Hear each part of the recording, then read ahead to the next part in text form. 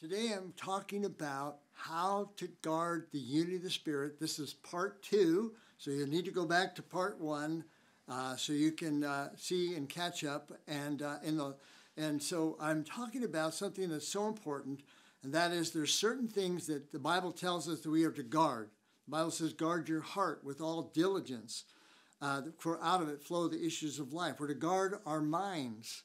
Uh, we're put on the helmet of salvation to guard our minds. We're to guard with our faith. The Bible says, holding up the shield of faith, we are to squelch all the fiery darts of the enemy. So there's certain things that we need to guard in our life. And in the church, there's a major thing that we are to guard, and that is to guard the unity of the Spirit. Okay, it's found in Ephesians chapter 4, verses 1 through 6. And this is the Apostle Paul.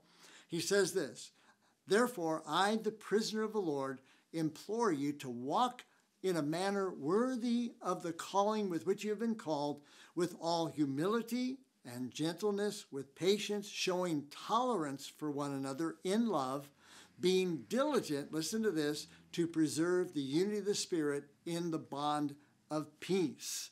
And so here Paul is saying that we need to be proactive in guarding and being diligent to preserve. Another version says to guard the unity of the Spirit in the bond of peace. So I'm going to jump in. I'm going to give you the five things that I talked about. Just I'll highlight quickly the five things I talked about in the last session.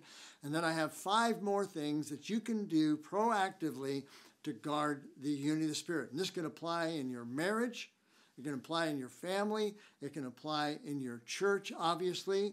Uh, and, and, it can apply in your small group or whatever your relationships you have. How do we guard the unity of the Spirit? Because where there's unity, that's where God's going to show up. Where there's unity, God commands a blessing.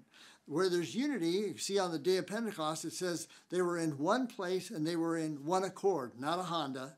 Uh, they were in one accord, which meant that they were in agreement with each other. They were in one mind and one heart, intent on one purpose. And that's when God's Spirit was poured out. So if we're going to see the Spirit of God poured out in our lives, in our churches, in our region, in our nation, we must have the unity of the Spirit. So let's pray, and we're going to jump right in on talking about what are things that we can do to guard the unity of the Spirit? So let's pray together. Father, I thank you again for your grace and mercy and for Jesus. Jesus, you came, Lord, and died on the cross, not just for our sins, but also that we might be one as you and the Father are one. And so, Holy Spirit, we welcome you right now. We say, Holy Spirit, speak to us, and Lord, Give us the grace we need to walk this out because you want to come for a glorious bride, a bride that's not in disunity, but a bride that's in unity.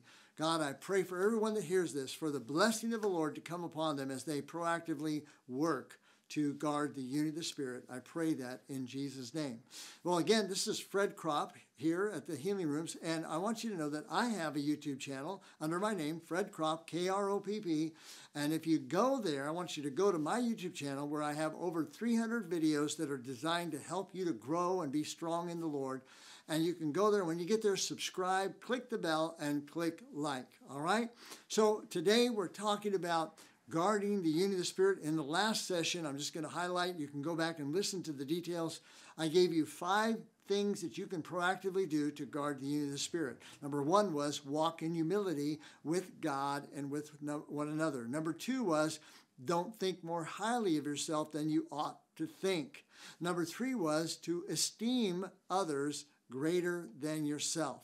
Number four was to look out for the needs of others, not just your own needs. Number five was to pray for one another. So now I'm going to give you five more things. This is number six on how to guard the unity of the Spirit. And here it is. It says in the, the theme scripture there in Ephesians, it says, guard the unity of the Spirit or preserve the unity of the Spirit in the bond of peace. Everybody say the bond of peace. I don't know if you like people that say, hey, let's all say this. But anyhow, the bond of peace. Well, we're to guard the unity Spirit with the bond of peace. How do we do that? Well, here it is, number six forgive quickly. That's right.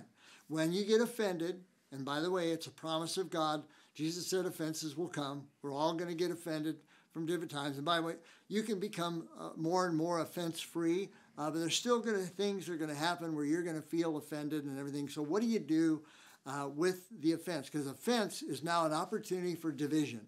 When I look at people who leave churches or churches that are divided, you know, they'll say, well, we just want to follow this person or we, we don't agree with that doctrine or whatever. But the real problem is an unresolved offense in their life. People leave because they got offended. And then they take the offense to another place, to another church. And then it goes on and on and on. And they keep going from place to place because they, and, they, and they become a tool in the enemy's hands to bring about disunity in the body of Christ. So here we're supposed to guard the, the unity of the Spirit in the bond of peace. So bond of peace. How do we do that? By forgiving quickly. In Colossians chapter 3, verses 12 and 13, it says this. So Paul writes and says, So as those who have been chosen of God, holy and beloved, put on a heart of compassion. There's a good word. Put on a heart of compassion, kindness, humility, gentleness, and patience, bearing with one another, and forgiving one another, whoever has a complaint against anyone, just as the Lord forgave you, so also should you. So here's a great tool that I'm putting in your hand right now on how you can guard the unity of the Spirit. That is to forgive quickly. Uh, here, Paul says that he says we need to walk and put on a heart of compassion okay to, to, to, you know to give people the benefit of the doubt you know, when people do something that offends you, um, I would say 80, 90% of the time, they don't even know they're doing anything. You know, they're not not intentionally trying to offend you. They just do something, say something, neglect you. They forgot to send you a Christmas card or whatever, and you get offended about that, and they don't even know it. Well, why don't you just give them the benefit of the doubt? Why don't you just put on a heart of compassion and love them? And the Bible here it says to be kind to them and walk in humility and gentleness and patience, bearing with one another. Now, why would he put bearing with one another? Because we need to bear with one another. You know, sometimes we have to put up with other people's weirdness, right? I mean, nobody else is weird, you know, every, or I should say it this way everybody else is weird, it's just not me. No. Hey, there's something weird about all of us, right? There's something that irritates people in our personality or how we say things or how we you know, walk through life and all that. And so here Paul says, I want you to bear with one another. And that means to put up with things that, you know, maybe aren't your thing, right? Maybe the, you know, your spouse, you know, they squeeze the, the, the toothpaste tube at the wrong end and you just don't, don't like that. Or they've got the toilet paper turned the wrong direction. And, you know, there's, it's so funny, the little things that we get irritated about. Why don't we just bear with one another? And why don't we be quick to forgive when they do offend us? And so, one of the ways we guard the unity of the Spirit is to walk in forgiveness out of a heart of compassion. See, disunity starts when we allow unforgiveness to stay in us and grow into bitterness. So we got there's a progression. When we have unforgiveness in it we, in us and we don't resolve it, we don't deal with it, we don't forgive and make a choice to forgive, soon it starts to become resentment. And then resentment goes to bitterness, and bitterness goes to anger, and we want to retaliate. And so, how many of you know if we're all full of anger and bitterness, we're not going to have any unity in the church? So, if we want to have unity, we have to be quick to forgive. Number seven, here's the seventh thing. Those of you who are jumping in right now, I'm talking about how to guard the unity of the Spirit. And we need to understand how important we need to lift up unity above my thing, above what I want, what I think, my opinion. And so, uh, how do we guard the unity of the Spirit? So this is number seven. That's what I'm talking about. I've given, I'm giving ten things. I've already given you five in the last uh, video, and this one I'm giving you five more. So here's another one. Outdo. This is number seven. Outdo one another in showing honor one to another. That's Romans chapter 12, verse 10. It says this. Paul writing again, love one another with brotherly affection outdo one another in showing honor to one another. Okay, let me read that again. Love one another with brotherly affection, outdo one another in showing honor for other people. You see, it's real easy to have unity when you're going around honoring other people, celebrating them, telling them what a great job they did. You know, I just here I work uh, here out of the healing rooms here in Santa Maria, And I, when I get up in the morning, I get up for, and for, you know, I remind myself a couple of a couple of things. Number one, I want to get up to love people all day long. That's what I want to do. I want to wake up, and my job is to go out and loving people. And then, secondly, I want to go out and build people up and edify people. And the way I do that is by honoring them, by telling them how great they are. And, you know, even if they're, you know, maybe they're, you know, uh, not doing so good. Maybe they're kind of people, sometimes you want to slap them. What if you just begin to call out the best in them? What if you begin to honor other people and, and, and give them honor, even when they don't deserve it? Well, you're thinking, yeah, well, I'd honor them if they deserved it, and they don't deserve it. Well, nobody deserves it. You don't deserve it. I don't deserve it. Only there's only one person that deserves the honor and the glory and the praise, and his name is Jesus, right? And so we have the opportunity to go around and, and we can proactively guard the unity of the Spirit by honoring other people. Look for the great thing in them, look for the good thing in them, and begin to tell them about that. I just love it. I just enjoy doing that, going around as I talk to people and I run into people, and even whether they're Christians or not, doesn't matter. Go if you go around with a with a intentional or being intentional about honoring other people, you know what, I'll just tell you one thing, you're going to be a happier person. And you know what? People are going to like to see you when they see you coming. That's right.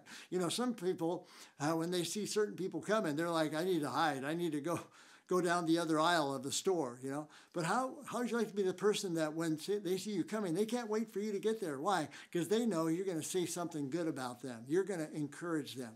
So, number seven is outdo one another. Number six was forgive quickly. Number seven is outdo one another in showing honor to one another. Wouldn't that be a great goal to live by? Number eight, walk in love with one another.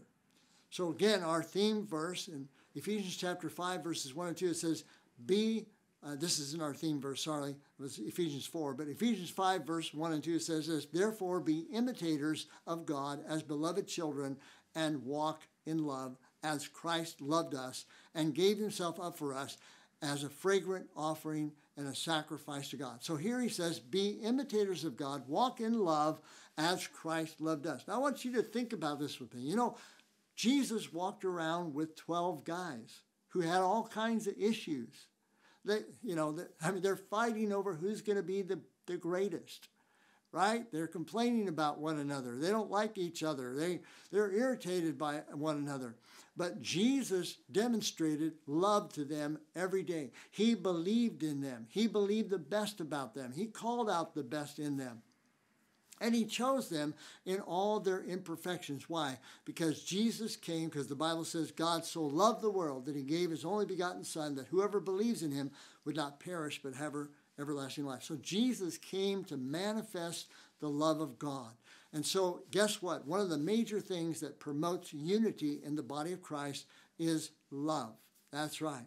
The Bible actually says in Colossians, I'll just read it to you here Colossians 12, or Colossians 3 12 to 14, it says, So as those who have been chosen by God, holy and beloved, put on a heart of compassion, kindness, humility, gentleness, patience bearing with one another and forgiving each other, whoever has a complaint against one another, just as the Lord forgave you, so also should you. Now listen to this. This is verse 14. Beyond all these things, put on love, which is the perfect bond of unity. How are we going to have unity in the body of Christ? When we get a fresh baptism of the love of God. The more we have the love of God in us. The Bible says we first receive his love and then we're to give his love. The Bible says, love God with all your heart, soul, mind, and strength. And then it says, love your neighbor as yourself. So we use all our love on God. What do we got left? None. So what do we got to do? We got to get God's love in us so that we can get God's love through us. And so we are to put on love. Think about that. This morning you got up and you put on some clothes. I'm assuming you're not walking around naked wherever you are but you put on some clothes. You were proactive about it. You thought about it. You put on a certain pair of a dress or a pair of pants or a shirt or certain shoes that you put on. You thought about it and you put it on. I'm going to put on, well, some of you didn't think about it. I, I understand that. Okay, that's just a joke. All right. But here it says, beyond all these things, put on love, which is the perfect bond of unity. So if I'm reading that right, every day when I get up, besides putting on you know, my shirts and my pants and my shoes and my socks and all that. I'm supposed to put on love. So I can put on the love of God. Uh, so here it says in 1 Peter chapter uh, 1, or 1 Peter chapter 4, verse 8, it says this Most important of all, continue to show deep love for one another, for love covers a multitude of sins. You see, one of the reasons we get into division and we get into disunity is because we see somebody else's sin and we just want to expose it or we're uh, we, that makes us feel better about ourselves. They sinned and I haven't done that sin, so I must be more holy than they are, or whatever we want to think. But the Bible says love covers a multitude of sins. You know what? The love of God has covered a multitude of your sins. And so we're to cover one another's sins. I don't know if you remember the story of Noah, that after he got out of the ark, and it says he planted a vineyard and he got drunk by it, and, uh, and one of his uh, children of one of his sons went and exposed him. I saw him naked. He was because he was drunk. He got naked and he went in and he saw his uh, his father naked, and, uh, and it was one of his sons. And it says he went out and told everybody else about it. But it says the two other brothers went in and they put a blanket on their shoulder between each other and they backed in and they covered him up and so that he was not exposed. Well, love covers multitudes of sins, covers other people's imperfections. And so, if we're going to have the bond of unity, if we're going to have uh, unity in the body of Christ, we must learn how to walk in love with one another. That was number eight. So, number again, number six was forgive quickly. Number seven was outdo one another in showing honor to one another. Number eight is walk in love. And number nine is see yourself and others the way God sees you. 2 Corinthians 5:17. That's here's a verse you should have memorized. 2 Corinthians 5:17 says, "Therefore, if anyone is in Christ, he is a new creation. Old things have passed away; behold, all things have become new." So if anyone is in Christ, the Bible says they're a new creation. One verse says new creatures in Christ Jesus. And so they're a new creation. And our job is to see people as new creations. So if you see, first off, it starts by, starts by seeing yourself. You're a new creature in Christ Jesus. The old things, and the old things passed away. The word passed away means they died, they've been buried. When we say so and so passed away, we mean they're dead. They're not here anymore. And so here it says, if you're in Christ, you're a new creation. All the old person used to be is dead and gone. All things have become new. And so see yourself as a new creation and see others as a new creation as well. In 2 Corinthians 5:16 it says this. Paul writes, this is the verse before 5:17. He says, "Therefore from now on we regard no one according to the flesh. Even though we have known Christ according to the flesh, yet we know him thus no longer. So he says, from now on, we regard no one according to the flesh. In other words, we're not looking at your flesh. You know, your flesh is always going to be your flesh. Your flesh is always going to have issues. But we're not to look at each other and we're not to um, see uh, ourselves or other people as in the flesh, but we're to see who they are in Christ. So, one of the ways we guard the unity of the Spirit is to see ourselves and others the way God sees us. And then here's number 10 choose to believe the best about other people. Now, this is a choice. You can choose to believe the best about other people. You know, we have we live in such a negative society. The the YouTube and all the internet has gone crazy. All they want to do is point out everybody's mess and everybody's uh, the worst things about people. That makes the news. People always want to listen to negative news over positive news and everything, but that's not what's going to create. How many of you see that in America it's creating disunity all across between family members, between friends, between you know churches, between areas, between uh, all kind of you know. Uh, Democrats versus Republicans and all this. We, why? Because we're pointing out the worst in everybody else. And so love chooses to believe the best about each other. That's 1 Corinthians chapter 13, which is the love chapter, right? So in the love chapter, it says this Love is patient. This is chapter 13, verses 4 through 7 of 1 Corinthians. Love is patient. Love is kind. Love does not envy or boast. It's not arrogant or rude. It does not insist on its own way. It's not irritable or resentful. It does not rejoice at wrongdoing, but rejoices with the truth. Love bears all things. Listen to the next phrase believes all things. Love bears all things, believes all things, hopes all things, endures all things.